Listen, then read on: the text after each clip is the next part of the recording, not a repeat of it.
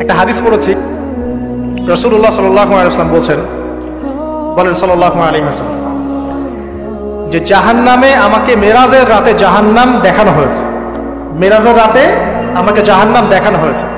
তো সেখানে আমি দেখলাম যে কিছু মানুষকে এই জাহান্নামীদের রক্ত আর পুষ খেতে দেয়া হয়েছে। মানে আল্লাহ জানেন কেমন করে, রক্ত আর পুজ পান করতে দেয়া হচ্ছে। কারণ জাহান্নামে পিপাসা লাগবে না। ক্ষুধা ক্ষুধা লাগবে না? ক্ষুধা লাগবে। খাবার খেতে চাইলে জাক্কুম, আর পানি খেতে চাইলে হামিম, গরম উত্তপ্ত পানি, আর যে রক্ত আর পুজ। রক্ত আর পুজের একটা মিশ্রণ খেতে দেওয়া হচ্ছে। তো নবী সাল্লাহ আলাইসলামকে সাহাবিরা পরে জিজ্ঞাসা করলেন, ইয়া রসল্লাহ কোন পাপের কারণে তাদেরকে এই শাস্তি দেওয়া হচ্ছে? নবী করিম সাল্লাহ আলাইসলাম বললেন, তাদেরকে এই শাস্তি দেওয়া হচ্ছে একটা পাপের কারণে, সেটা হলো মাদক দ্রব্য সেবন করা। আর ওই পানীয়টার নামও নবীজি বলে গেলেন, তার নাম হচ্ছে তিনাতুল খাবাল। কি নাম? তিনাতুল খাবাল। এই তিনাতুল খাবাল মানে জাহান নামীদের রক্ত এবং পুজ। এটা খেতে দেওয়া হচ্ছে মাদকদ্রব্য সেবনকারীদের জন্য। আল্লাহ রসুল সাল্লাহ বলেছেন, কোনো ব্যক্তি যদি মাদক সেবন করে, তার চল্লিশ দিনের নামাজ কবুল হবে না। সে যদি আবার তওবা করে তওবা করে ফিরে আসে, আল্লাহ পাক মাফ করে দিবেন ইনশাআল্লাহ। যদি আবারও মাদক খায়, আবার চল্লিশ দিনের নামাজ কবুল হবে না।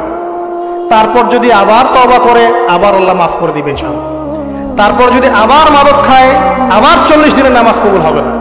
তারপর যদি আবার তওবা করে, আবার আল্লাহ মাফ করে দেবেন। তারপরে যদি আবার মাদক খায়, তখন আল্লাহ রবুল্লা আলমী তাকে তিনাতুল খাবাল পান করে প্রিয় ভাইরা আপনারা মুসলিম না, আমরা মুসলিম না? মুসলিম যুবকদের সবচেয়ে সেরা অস্ত্র হচ্ছে ইমান এবং নৈতিকতা। অন্যরা জাহিলিয়াতের স্রোতে ভেসে যাক, মুসলিম তরুণরা কখনো জাহিলিয়াতে যাবে না ইনশাল আমার সাথে ওয়াদা করেন যে কোনো প্রকার মাদক দ্রব্যের সাথে সংশ্লিষ্ট থাকবেন না। একটা সিগারেটও কখনো টান দিবেন না। কারণ সিগারেটটা কি? সিগারেট আপনাকে আস্তে আস্তে অন্য মাদকের দিকে নিয়ে যাবে। সিগারেট খাওয়া শিখেছিস, এখন গাঁজাও খা। গাঁজা খাওয়া শিখলে এখন ওটা খা ওটা খা, এই করতে থাকে। এক পর্যায়ে আপনি এখান থেকে বের হতে পারবেন না। এখানে আপনার দেহের ক্ষতি, আপনার মস্তিষ্কের ক্ষতি, আপনার পরিবারের ক্ষতি। এমন আপনি যদি পরবর্তীতে গিয়ে পরিবার গঠন করতে চান, আপনি সুখী পরিবারও গঠন করতে পারবেন না, কারণ ভিতর থেকে আপনি নিজেকে শেষ করে ফেলেছেন। দুইটা দুইটা ভয়ঙ্কর পাপের কথা বলে দেই। এই দুইটা পাপে যারা আসক্ত হয়ে আছে, তারা তবা করে ফিরে আসলে পরেও সারা জীবন তাদেরকে এটা সাফার করতে হবে। কথা বুঝতে পারছেন না? তবা করে ফিরে এসেছেন মনে করে, তারপরেও আপনাকে সারা জীবন এই পাপের ফলটা ভোগ করতে হবে। এক মাদক দ্রব্য দীর্ঘদিন সেবন করেছেন তবা করেছেন, ফিরে এসেছেন, আল্লাহ হয়তো মাফ করে দিয়েছেন। আল্লাহ পাক মাফ করে দিয়েছেন বাট আপনি আপনার দেহের যে ক্ষতিটা করে ফেলেছেন, এটা পোষাতে পারবেন এক নাম্বার। দুই, তখন আপনি যদি বিয়ে করেন, আপনি স্ত্রীকে সন্তুষ্ট করতে পারবেন হ্যাঁ? দুই নাম্বার হচ্ছে এই যে গোপনে যুবকরা যে পাপটা করে মাস্টারবেশন যেটাকে আমরা বলি হস্তমৈথুন এই পাপ যেসব যুবকরা করছে বা করে, এবং অ্যাভেলেবেল এই পাপটা সবাই করে কারণ এখন পর্নের যুগ, পর্ন দেখলে তো আর কোনো উপায় নাই, তখন তো এই পথেই যেতে হচ্ছে, নিজের উপরে নিজেকে জুলুম করতে হচ্ছে। যারা হস্তমৈথুন অভ্যস্ত হয়ে গেছে, এরা যদি তবা করে ফিরেও আসে, শরীরের যে ক্ষতিটা হয়েছে, এটা পূরণ হবে না দেখেন, আমার মতো বয়সে, আমার চেয়ে প্রায় দশ বছর বয়স আগেই Tariq bin Ziyad Spain Spain জয় করেছিল। আমার যে বয়স এখন চলছে, তিরিশ পার হয়ে গেছে। এর চেয়ে আরও প্রায় দশ বছর আগে মোহাম্মদ বিন কাসিম এই সিন্ধু জয় করেছিল। এখন যে ইসলাম আপনি ভোগ করছেন, এটা তাদের ফল। তাদের এই জিহাদের ফল। তো এখন আমাদের এই যে বিশ বছর, তিরিশ বছরের যুব সমাজের দিকে তাকায় দেখেন। একবার তাকায় দেখেন, চেহারাগুলো একটু দেখেন। চেহারা দেখেন, এক একটা চেহারা দেখেন। চেহারায় নূর নাই, নষ্ট হয়ে গেছে। নামাজ নাই চোখগুলো বসে যাচ্ছে কারণ সারা রাত জেগে থাকছে। ওই যে টিকটক টিকটক টিকটক, সারা রাত। হ্যাঁ সারা রাত ফোনে, সারা রাত গল্প গুজব রাত্রেবেলা দেখবেন রাত্রেবেলা শহর যেন জীবিত হচ্ছে। রাত্রেবেলা ক্যারাম খেলে, রাত্রে লুডু খেলে, রাত্রে এটা করে রাত্রে সে সারাদিন ঘুম। সারাটা দিন ঘুম। আপনি কি জানেন? সারা রাত কে জেগে থাকে? সারাদিন কে সারা রাত কে ঘুমায়?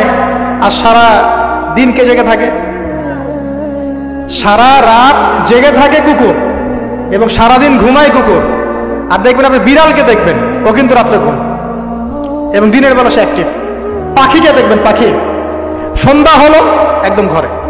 যেই সূর্য ডুববে, পাখি একদম ঘরে। দেখেন না? পাখি ঘরে। আর যেই ফজর হবে, পাখি বের হয়ে গেল।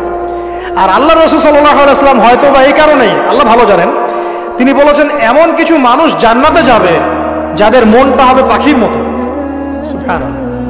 দেখেন, পাখি কি করে? একদম সন্ধ্যা হলো, ঘরে ঢুকে গেল। যেই ফজর হবে, একদম ফজরের আগে আগে সে বের হয়ে গেল। তো পাখির মতো হওয়ার চেষ্টা করে, পাখির মতো লাইফস্টাইলে আছে। এবং সে সারাদিন পরিশ্রম করে, রিজিকের জন্য করে না। আল্লাহ পাক পাখিকে রিজিক দেন কি চাকরির মধ্য দিয়ে, না ব্যবসার মধ্য দিয়ে? কীভাবে সে রিজিক পায়? তাওয়াক্কুল তাওয়াক্কুল, আল্লাহর প্রতি তাওয়াক্কুল। আর তাওয়াক্কুল করে কি সে ঘরে বসে থাকে, না রিজিক সার্চ করে, রিজিক তালাশ করে? আপনিও রিজিক তালাশ করেন, আল্লাহ পাক রিজিক দিবে ইনশাআল্লাহ। প্রিয় যুবক ভাইরা আল্লাহর ওয়াস্তে তওবা করেন। যারা যারা মাদক দ্রব্যের সাথে সংশ্লিষ্ট আছেন বা থাকার সম্ভাবনাও ছিল এর ধার কাছেও যাবেন না। ওয়াদা করছেন তো? এবং গোপন পাপে লিপ্ত হবেন না। গোপন পাপে লিপ্ত হবেন না, আপনি যৌবনকে ধরে রাখেন ইনশাল্লাহ দেখবেন আপনি সারা জীবন এনজয় করতে পারবেন কিন্তু যদি এখন নিজেকে শেষ করে ফেলেন, এখন নিজেকে শেষ করে ফেললে আপনি বিয়ে করলে পরেও দেখবেন আপনি পস্তাচ্ছেন। ওই যে কলিকাতা হারবালে যেতে হবে মডার্ন হারবালে দৌড় দিতে হবে। আর সব হারবাল টারবাল খেয়ে লাভ হয় না। কারণ কি? কারণ আল্লাহ প্রদত্ত যে নেয়ামত সেটা আপনি নষ্ট করে ফেলেছেন। এখন এইটা আর আপনি ক্ষতিপূরণ দিতে পারবেন অতএব জীবনটাকে সিরিয়াসলি নেন। মুসলিম, তরুণ যুবকদেরকে উদ্দেশ্যে বলছি যে আপনারা কায়িক পরিশ্রম করেন। কায়িক পরিশ্রম করেন, পাঁচ অক্ট সলাটটা আল্লাহর ওয়াস্তে নামাজে মসজিদে এসে পড়েন। বেশি কিছু করতে বলছি না ভাই। আমার কথা শোনেন, বেশি কিছু করতে বলছি না। আল্লাহর ওয়াস্তে পাঁচ অক্ট নামাজটা মসজিদে পড়েন, পারবেন না? আচ্ছা ডেইলি দশটা পৃষ্ঠা করে কোরআন তেলাওয়াত করেন, পারবেন? আল্লাহ তৌফিক দান করুন। ডেইলি দু চার টাকা করে সৎকা করেন, পারবেন? আচ্ছা প্রত্যেক দিন কিছু দাওয়াতি কাজ করেন, আমর বিল মারুফ সৎ কাজের আদেশ করবেন নাহিয়ানিল মুনকার অসৎ কাজে নিষেধ করবেন পারা যাবে? ইনশাআল্লাহ। আপনি হালাল রিজিকের একটা সন্ধান খোঁজার চেষ্টা করেন, পারবেন? ইনশাআল্লাহ। পড়াশোনায় নিজেকে ব্যস্ত রাখেন। লেখাপড়ায় নিজেকে ব্যস্ত রাখেন। যদি এর পাশে আপনি সময় পান, আমি বলব আপনি খেলাধুলা করেন। যদি সময় কিছু বের করতে পারেন, কায়িক কিছু পরিশ্রম করেন, প্রয়োজনে কিছু কসরত করেন, জিম করেন, খেলাধুলা করেন, তারপরেও পণে যায় না, তারপরেও গার্লফ্রেন্ডের পিছনে সময় নষ্ট করেন না, তারপরেও যে টিকটক, ফেসবুক, ইউটিউব নিয়ে পড়ে থাকেন। ওগুলোর চেয়ে খেলাধুলা করা অনেক ভালো আছে। অ্যাটলিস্ট আপনি ফিজিক্যালি ফিট থাকবেন।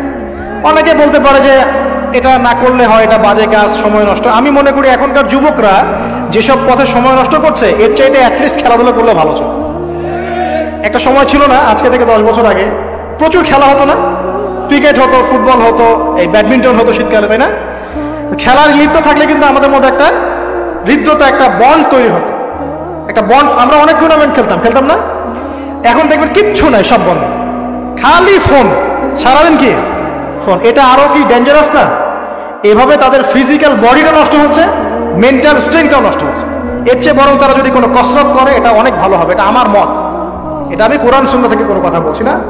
আল্লাহ পাক বোঝার তৌফিক দেখ শেষ কথা হলো যে আইএমএ জাহিলিয়াতের আরেকটা নির্মম বর্বরতা ছিল হচ্ছে গোত্রীয় দ্বন্দ্ব। কি ছিল? গোত্রীয় দ্বন্দ্ব। এটা এটাই দিয়ে আমি শেষ করছি।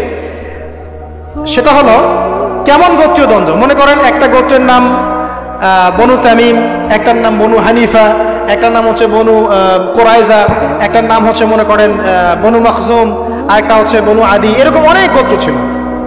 তো এই গোত্রগুলোর মধ্যে আপোষে দ্বন্দ্ব চলতো, খুব সামান্য কারণে তারা দীর্ঘস্থায়ী যুদ্ধ করত। একটু বোঝার চেষ্টা করে খুব সামান্য কারণে তারা লম্বা লম্বা যুদ্ধ করত। একটা উটকে কেন্দ্র করে প্রায় আশি বছর যুদ্ধ হচ্ছে কত বছর? আশি বছর। এখন আপনাকে বলি এই যে জাহেলিয়াতের, এই যে গোত্রীয় হানাহানি, মারামারি, কাটাকাটি, এটা কি এখন সারা বিশ্বে ছড়িয়ে পড়েছে কি পড়ে নাই? আল্লাহ নূর দিয়ে দেখেন, পড়েছে কি পড়ে নাই? দেশে দেশে হানাহানি বেড়েছে না কমেছে? রসুল্লাহ সাল আলী হাসাল্লাম তেইশ বছর নবুয়তের জীবনে যতগুলো জিহাদ করেছেন এবং সারিয়া করেছেন, এতে সব মিলে হয়তো দুই থেকে তিন হাজার মানুষও মারা যায় নাই। ঠিক আছে? কিন্তু এখনকার দেখবেন প্রথম বিশ্বযুদ্ধেই কয়েক কোটি মানুষ শেষ। দ্বিতীয় বিশ্বযুদ্ধেই আরও কয়েক কোটি মানুষ শেষ। আর সামনে যে নিউক্লিয়ার যুদ্ধ হতে যাচ্ছে, আল্লাহ আলম কবে হবে? এবং এটা হইলে যে কি হবে পৃথিবীর অবস্থা আল্লাহ ভালো এমন নিউক্লিয়ার ওয়েপেন্স আছে, যেটা আসমানে যদি বিস্ফোরণ ঘটানো হয়, তাহলে ওই দেশের সমস্ত ইলেকট্রনিক জিনিসগুলো নষ্ট হয়ে যাবে। বুঝতে পারেন এই কথা? বোম মারতে হবে না পৃথিবীতে। মাটিতে বোমটা মারতে হবে না। আসমানে বিস্ফোরণ করে দিবে, তাতে আপনার পুরো দেশের যত ইলেকট্রনিক ডিভাইস আছে, সব ড্যামেজ এটা এই যুগ। ওই হিরোসীমা নাগাসাকির কথা মনে আছে? কি হয়েছিল ওখানে? বলেন। দুইটা বোম ফেলা হয়েছিল, পারমাণবিক বোমা। কে ফেলেছিল? কে ফেলেছিল? আমেরিকা। আচ্ছা। ওই বোম দুটার নাম কি? হ্যাঁ এই তো জান লিটল বয় আর ফ্যাটম্যান। ওই দুইটা বোম করে যে যে কোটি কোটি মানুষ মারা গেল। এখন পর্যন্ত জাপানের মানুষ তার তেজস্ক্রিয়তায় ভোগে। এখনকার পারমাণবিক ওয়েপেন্সগুলো তার চেয়ে অনেক অনেক অনেক বেশি শক্তিশালী।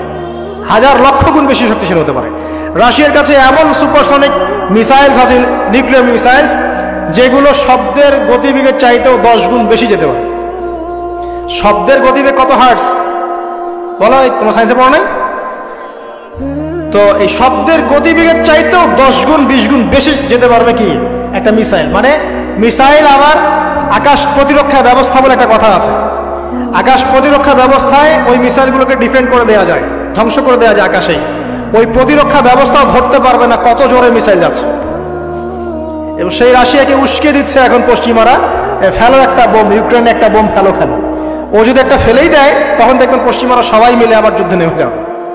পুরো ব্যাসাকার হয়ে যেতে পারে। আল্লাহ আলাম, আল্লাহ ভালো জানেন। তবে এটা সময়ের ব্যাপার মাত্র যে বিশ্বে একটা ভয়ঙ্কর প্রলয়কারী কিছু একটা হতে যাচ্ছে। বলব যে ভবিষ্যৎবাণী করে বেড়াচ্ছে। ভবিষ্যৎবাণী করি নাই। আপনার বর্তমান সম্পর্কে জ্ঞান নাই বলেই বর্তমানকে আপনার ভবিষ্যৎ মনে হয়।